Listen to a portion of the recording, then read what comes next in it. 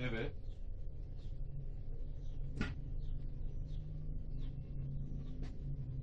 Heh, tamam, tamam abla.